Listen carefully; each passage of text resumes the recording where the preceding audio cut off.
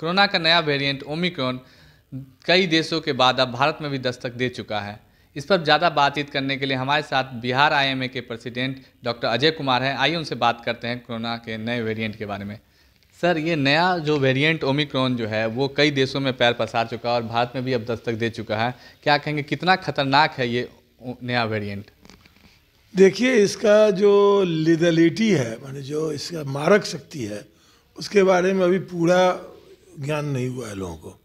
लेकिन एक चीज़ तय हो चुका है कि ये इन्फेक्टिविटी जिसको कहते हैं, कि एक आदमी से दूसरे आदमी को होना, ये बहुत तेज़ है इसका। बहुत ही ज़्यादा जल्दी प्रसार होता है इसका।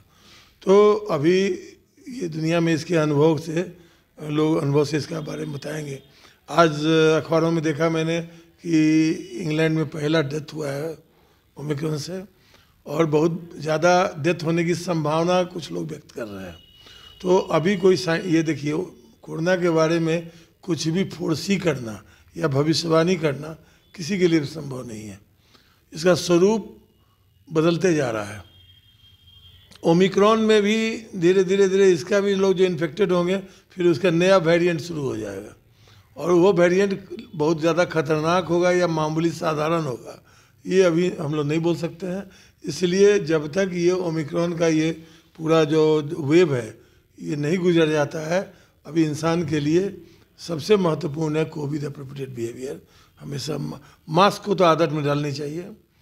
और दुनिया में इम्यूनाइजेशन जो है डॉक्टरों ने जो वैक्सीन निकाला है, ये वैक्सीन रियली अगर सबको पड़ गया रहता सही समय पर, और कम से कम ये अफ्रीका जैसे गरीब देशों में भी इसका दिया जाता, लोग शेयर देते, उस करते उसको। ये ओमिक्रॉन जैसा इतना वेरिएंट जो है नहीं पैदा होता। वेरिएंट भी पैदा होता है अगर वैक्सीन नहीं ठीक से मैंने बहुत ज़्यादा संख्या में नहीं लगाया जाए तो ज़्यादा वेरिएंट आवेंगे। सर ये जो पिछला वेरिएंट हमने देखा था कि भारत में डेल्टा वेरिएंट ने काफ़ी कहर बरपाया था और वो ये जो ओमिक्रॉन है ये डेल्टा से कितना अलग है? कितना भारत में ये कितना खतरनाक हो सकता है?